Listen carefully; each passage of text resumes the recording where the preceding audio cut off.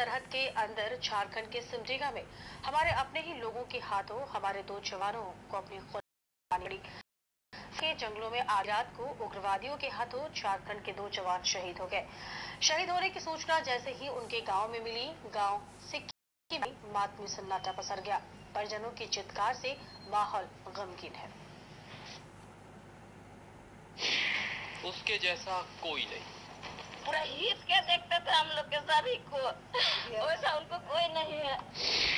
ज़िंदा दिल इंसान थे वो। बहुत अच्छा व्यवहार था उनका। गरीब दुर्बल लेकर करते थे।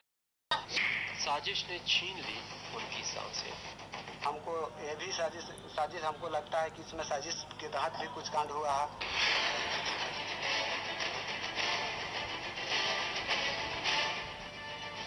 अस्पताल के स्ट्रेचर पर पड़ा ये शरीर उस दिलेर दरोगा का है, जिसकी शहादत ने कई सवाल खड़े कर दिए हैं। बानो थाना प्रभारी विद्यापति सिंह और उनके साथी जवान पीएलएफआई के साथ मुठभेड़ में शहीद हो गए। और एक जवान घायल हो गया। इस मुठभेड़ में नक्सलियों की कायरता और की बू आ रही है। जिसने शहीद विद्यापति और जवान के परिवार को गमों के समंदर में धकेल दिया है। पति की शहादत की खबर सुनकर विद्यापति की गर्भवती पत्नी की हालत बिगड़ गई है।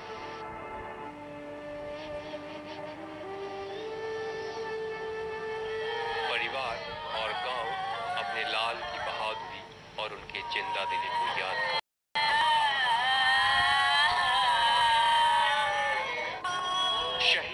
विद्यापति अपने पीछे गर्भवती पत्नी और पाँच साल का बेटा छोड़ गए।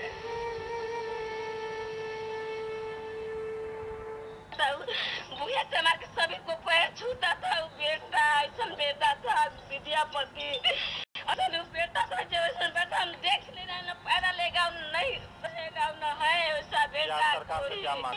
बहुत अच्छा व्यवहार था उनका। आते थे गाँव में। तो सभी बच्चे लोग के पढ़ने लिखने के लिए देते थे, देश देते थे, और गरीब दुर्बल लेकर को सहयोग करते थे कि आगे बढ़ो। शहीद के परिवार वालों की माने तो पलामू के रहने वाले बानो थाना प्रभारी शहीद विद्यापति और उनका साथी जवान गहरी साजिश के शिकार हुए हैं।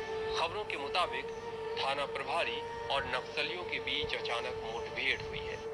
लेकिन परिजनों के मुताबिक उन्हें फ़ोन पर महाबूबांग गाँव में आठ की संख्या में नक्सलियों के होने की खबर दी गई।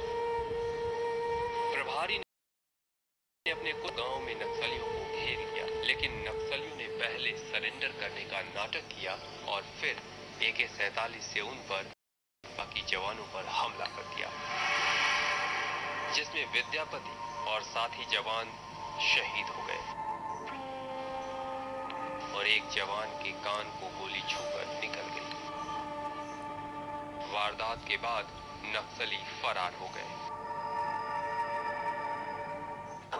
ग्रामीण जनता सूचना दिया कि यहाँ पर उग्रवादी लगाए हैं। इसी सूचना मिला, इसी वो थाना से निकल करके वहाँ पर गए। और वहाँ पर गए तो पता चला कि छः सात के लगभग में उग्रवादी थे। और अंदर बैठ के खाना पीना खा रहे थे। तो विद्यापति गए तो बोले कि सिलेंडर करो। तो उन लोग सिलेंडर कर दिया था। और उसमें से एक लड़का था, वो बोला कि वो सिलेंडर करने के लिए ऐसे झुका ही और झुकने जैसे झुका, वैसे थाना प्रभारी से कि क्या ऐसे करेगा? इसके बाद ऐसे रख रहा था। इसके बाद अचानक ऐसे थाना प्रभारी को दादा आकर मार दिया। और उसके साथ एक ड्राइवर था, उसको भी वहीं पर मौत हो गया। जा रहे थे तो यहाँ पर जाने से करीब एक किलोमीटर हम लोग पीछे थे तो घर में पीछे आवाज़ आया तो बड़ा वो बोले कि चलो देखते हैं देखेंगे तो वहाँ पर बैठा था।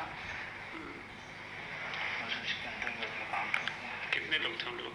आठ लोग। उस छापामारी के क्रम में उग्रवादियों के साथ मुठभेड़ हुई उस मुठभेड़ में आ, हमारे दो आ, पदाधिकारी एक पदाधिकारी और पुलिसकर्मी आ, शहीद हो गए। तो पूरा पुलिस विभाग झारखंड पुलिस इससे आहत है। युद्ध हमारी लड़ाई जारी है और ये एक दुखद घटना ज़रूर है, लेकिन हम अपने साथियों के शहादत और बलिदान को वेस्ट नहीं जाने देंगे। हम लोग पूर्ण तरीके से इनका खात्मा करने के लिए कटिबद्ध हैं। सरकार ने शहीद जवानों के आश्रितों को 10-10 लाख रुपए बतौर मुआवजा देने का ऐलान किया है। लेकिन ये मुआवजा अपने लाल को खो देने वाले इस परिवार और शहीद के बच्चे को गर्भ में पाल रही इस पत्नी की पीड़ा को शायद ही कम कर पाएगा। सिमडेगा से प्रिंस के साथ पलामू से करण की रिपोर्ट।